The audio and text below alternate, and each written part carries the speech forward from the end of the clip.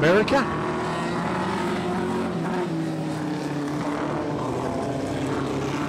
Was imported from America in 2014, now owned and driven by Ivan Thorley. Magnificent machine, that one. Also out there, the 63 Toyota Compact I was telling you about. Shane Jen, that's him going past us there now.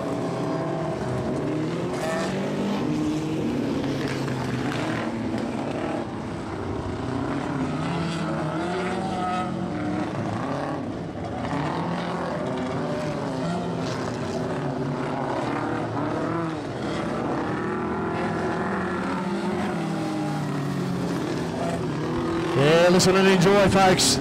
That's a little bit of history on the uh, the cars on track there at the moment. One or two of them uh, yet to come out. I don't see the uh, Gardner Autocraft Corey Stoddart driven machine. Saw him out there with an engine start. And also Peter McCauley's Alfa 1800 fuel injected machine. X-Bob Turnbull car. Not out there yet, but hopefully by the end of the night, they got four demonstration runs tonight, so hopefully uh, those couple of cars will make it their way out in due course before the end of the night.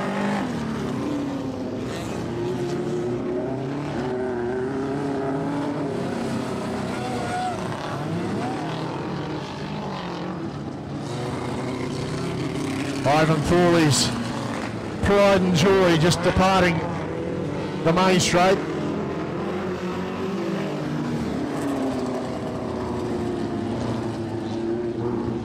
Okay, white flag up. Coming to the end of uh, of demonstration run number one for the vintage midgets here tonight.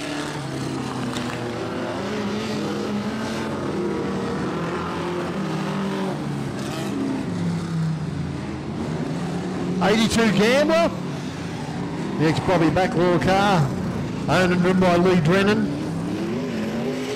That's out there as well. That's the car, the 78 car, going around the outside down the bottom there. Bobby Blacklaw drove that in Sydney to distinction.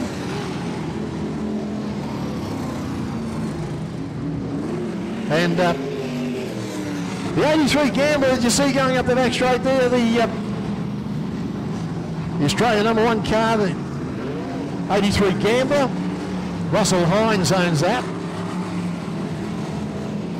That's an ex-Garry Rush car, 10-time national champion. Michelle doing the 50-50 raffle. She's going around amongst you now. Michelle doing the 50-50 raffle. Watch out for Michelle. $2 a ticket, that's all it'll cost you. Give me a bit of a rundown of all the cars so far tonight. First demonstration runs by these cars.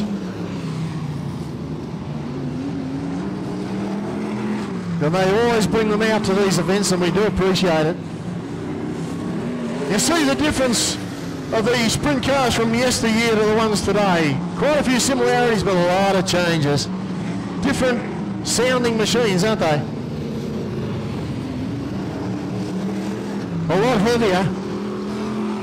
By and large, as a rule, these cars are a lot, lot heavier than the sprint cars of today.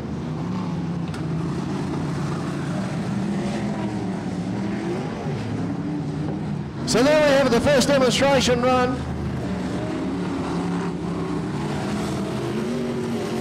Tony Eichenloft is driving it tonight. Edmund Coyle over copy. Ronnie Schumann from the USA drove that car to a victory in the uh, Winter Nationals in Sydney. Ivan Thorley, that brilliant yellow and orange USA one car the Edmunds Midget. Just down below us there now in the main straight. Look at that immaculate car. Built in 1969. Formerly housed the Sesco motor in that. Driven by Lee Earnshaw in America. Came over here in 2014. It's these days owned and driven by Ivan Thorley. It's got a, an Esslinger Ford Pinto motor, three-speed gearbox, clutch and starter motor run on, runs on petrol. That's how you see it today.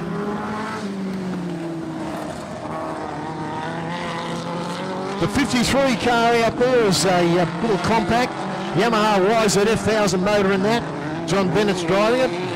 Engine work done by Graham Gerhardt. Try and go through them all for you. One lap to go for these guys. Not all out there. Some of them came out earlier. But it gives you a little bit of a, a story about them.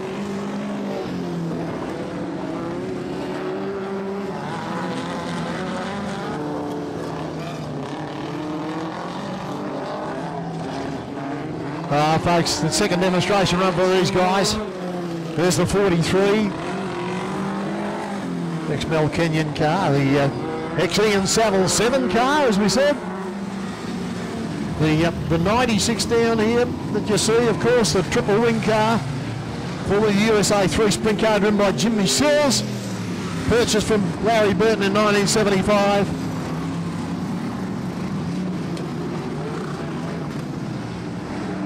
Raced by Gary Ryan, 75 to early uh, 1980s, mostly in southeast Queensland. Placed second in New South Wales title of Lismore in 76, second in the Queensland title of Maryborough in 76, and second in the Iron Holden Classic at Cairns in 1978 and 79.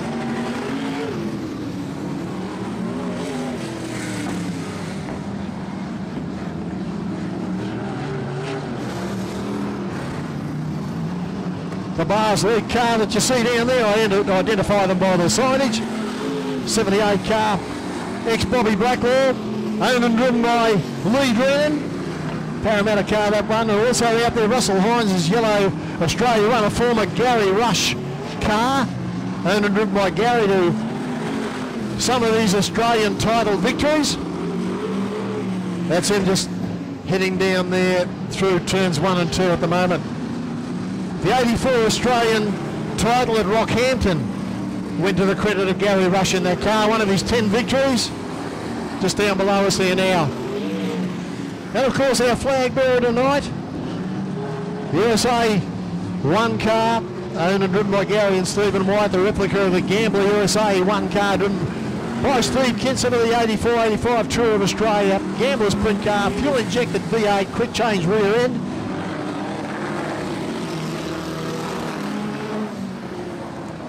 The Edmunds Autocraft X-Mel Kenyon 43 car. Never raced in Australia. Plenty of USAC experience though, of course. Well, we got a flat right rear on the seven car. Luckily nobody hit it coming around. The little uh, compact there, the Yamaha Y ZF 1000.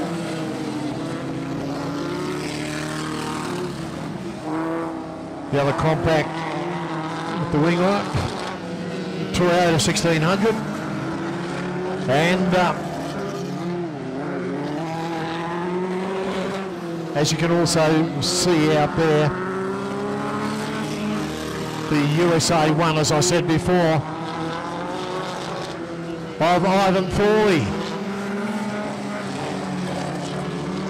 So their uh, pride and joy is on the line. Some great sounds coming out of these midgets.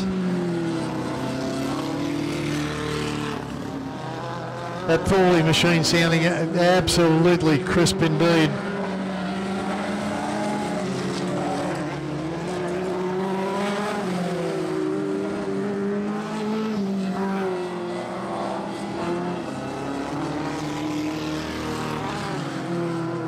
Ladies and gentlemen, girls and boys, they come out with one more lap to go in this particular journey. I, as I said before, I do want you to put your hands together for them. Put on a great performance tonight. Used to hold the three lap and eight lap record at the Ekka. Shaved 27 seconds off the 20 lap record at Ekka in 1976. And if you see any of the old footage and photos from Ekka you'll probably see this car. Easily identifiable. As I said earlier on, to play second in the New South Wales state title in Lismore in 1976, play second in the Queensland state title at Maryborough in 1976, and second in the Ireland Classic, Ireland Holden Classic at Cairns in 1978 and 79.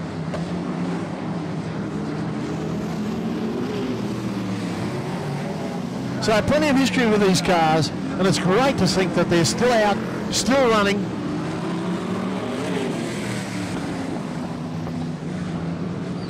We've got a gentleman out here, might have our lucky program number by of.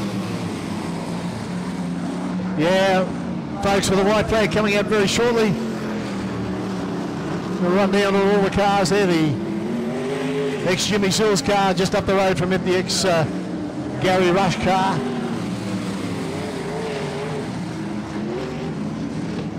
76 of course, the 82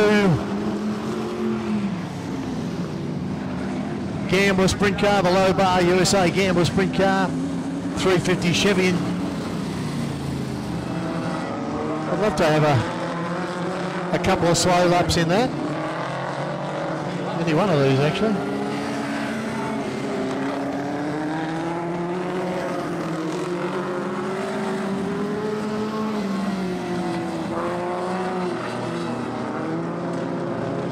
But valuable machinery, no doubt, uh, to uh,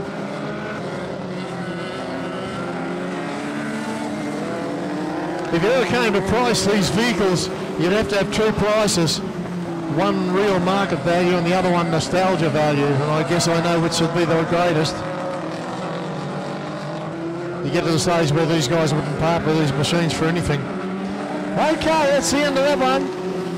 That's the last night tonight. We are going to have them again during the season. So we look forward to uh, them uh, coming back during the year, of course.